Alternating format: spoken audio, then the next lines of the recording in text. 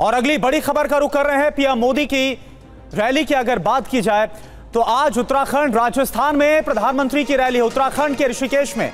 PM Modi की दोपहर तो 12 बजे रैली होगी, जो जानकारी सामने आ रही है। राजस्थान के करौली में पीएम मोदी की रैली है।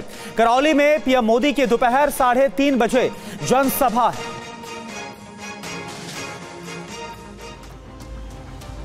प्रधानमंत्री नरेंद्र मोदी लगातार चुनावी प्रचार में जुटे हुए हैं। महाराष्ट्र के बाद पीएम मोदी आज देवभूमि देहरादून जाएँगे। पीएम मोदी की नज़र उत्तराखंड के सभी पाँच लोकसभा सीट पर है। प्रधानमंत्री मोदी आज ऋषिकेश पहुँचेंगे। पीएम यहाँ एक जनसभा को संबोधित करेंगे।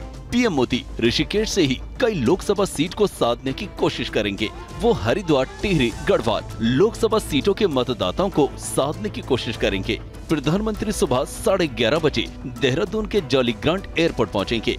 उसके बाद हेलीकॉप्टर के ज़रिए ऋषिकेश के आईडीपीएल मैदान पहुँचेंगे। करीब 12 बजे पीएम जनसभा में मौजूद लोगों को संबोधित करेंगे। पीएम मोदी के दौरे से पहले राज्य के मुख्यमंत्री पुष्कर सिंह धामी ने पीएम की रैली स्थल का जायजा लिया।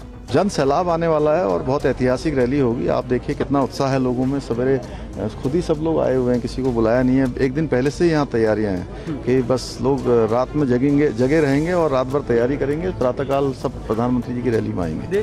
बीजेपी के मुताबिक हरिद्वार, टिहरी और गढ़वा लोकसभा के 23 विधानसभा क्षेत्रों ऐसी एक लाख ऐसी अधिक लोग और कार्यकर्ताओं के पहुँचने का अनुमान है। पीएम मोदी ऋषिकेश के बाद राजस्थान जाएँगे, जहाँ वो करौली के महाविजय संकल्प रैली में शामिल होंगे। प्रधानमंत्री करौली धौलपुर लोकसभा क्षेत्र से बीजेपी उम्मीदवार इंदु देवी जाटव के समर्थन में विजय शंखनाथ रैली को संबोधित करेंगे। रैली में पीएम के साथ सीएम भजनलाल शर्मा सहित अन्य बीजेपी नेता भी मौजूद रहेंगे। प्रधानमंत्री नरेंद्र मोदी ने महाराष्ट्र के नागपुर ज़िले के रामटेक में जनसभा को संबोधित किया। पीएम ने कहा कि इंडिया गठबंधन वाले देश को बांटने में जुटे हुए पीएम ने और क्या कहा? 60 सेकंड में देखिए रिपोर्ट।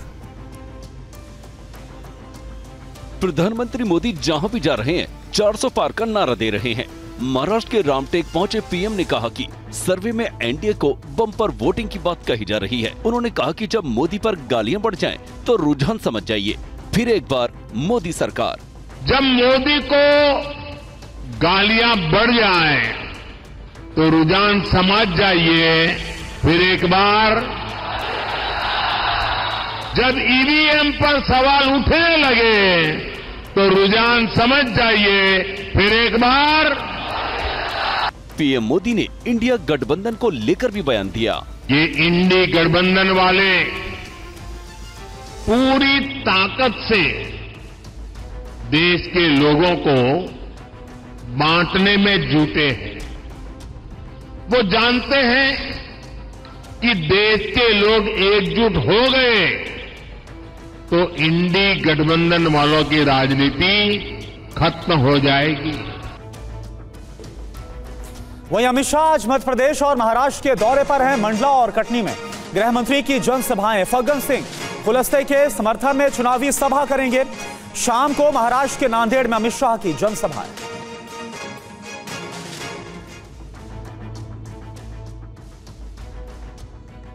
लोकसभा चुनाव के पहले चरण के चुनाव के लिए केंद्रीय नेताओं ने दौरे तेज कर दिए हैं। इसी के तहत आज केंद्रीय गृह मंत्री अमित शाह, आज मध्य प्रदेश और महाराष्ट्र का दौरा करेंगे। शाह आज केंद्रीय मंत्री और बीजेपी प्रत्याशी फग्गन सिंह कुलस्ते के समर्थन में मंडला पुलिस ग्राउंड में जनसभा को संबोधित करेंगे। इसके बाद दोपहर करीब तीन बजे कटनी के विजयनाथ धाम मेला ग्राउंड में जनसभा को संबोधित करेंगे। शाह आज शाम को महाराष्ट्र के नांदेड़ ज़िले में जनसभा को संबोधित करेंगे।